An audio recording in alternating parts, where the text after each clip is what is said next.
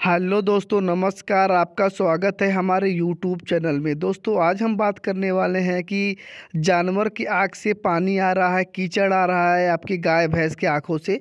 तो दोस्तों, आप उसका देसी ट्रीटमेंट किस प्रकार से कर सकते हो? तो सबसे पहले दोस्तों, उसके हम क्या यूज़ करेंगे? क्या यूज़ करना हमको चाहिए? तो सबसे पहले आप जान जाओ, हम सबके घर एक तेल रहता है, जिस तेल का नाम होता है राहत रूह दोस्तों, यह एक ठंडा तेल है। ठंडे तल, तेल को हम अपने सिर के ऊपर रखते हैं और हम अपने ह्यूमन के यूज़ में लेते हैं। तो दोस्तों, आपको वही तेल लेना है। तेल लेने के बाद आपको क्या करना है, मैं पूरी जानकारी दूँगा। दोस्तों, आपको एक नीडी लेना है। नीडी लेना है दस एम की। दस एमएल की ले लेना है या पाँच एम की लेना है और दवा को एक छोटे से बर्तन में रख लेना है। रखने के बाद क्या करना पड़ेगा? आपको एक आँख में डालने के लिए एक एम एल, एक से डेढ़ एमएल तक दवा लेनी पड़ेगी।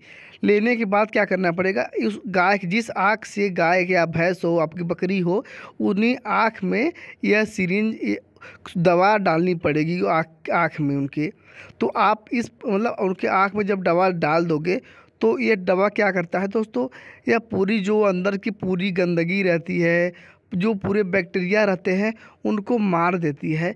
यह एक ठंडी दवा होती है।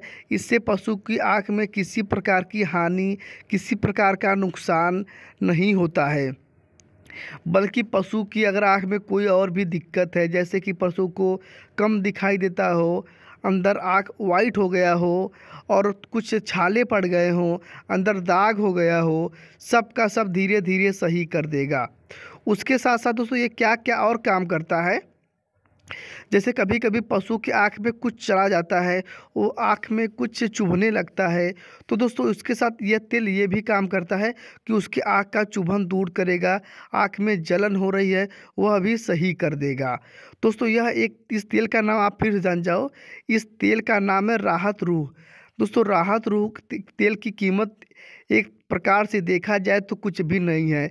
क्योंकि दोस्तों हम ह्यूमन लोग राहत रूह का तेल यूज़ करते हैं। तो यूज़ करते हैं यानी हम लोग परचेस मेडिकल से करते हैं।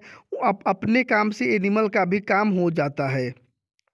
इस प्रकार से दोस्तों, आपके घर जितने भी एनिमल हैं, आप सभी को यूज़ कर सकते हो। अगर उनकी आँख में पानी नहीं आ रहा है, कीचड़ नहीं आ रहा है, फिर भी आप इस दवा को यूज़ कर सकते हो। इससे किसी भी प्रकार की हानि नहीं होगी।